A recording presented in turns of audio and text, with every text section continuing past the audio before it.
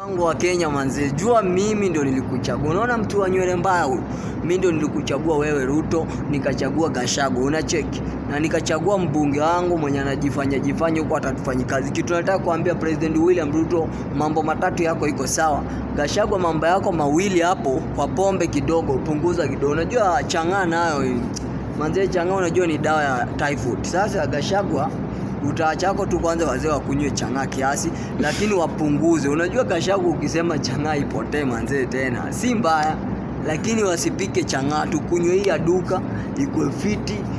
Prezo uko fiti, William Ruto. Unajua sisi ndio tulikuandika kazi, unacheki, sisi ndio tulikuandika na inafaa, inafaa Prezo utuangalia, hata ukipata ka kitu kadogo manzee unatusort ndio inakuwa fine manzee. William Ruto, mi najua hii message itakufikia, mi najua itakufikia wewe na Gachagua.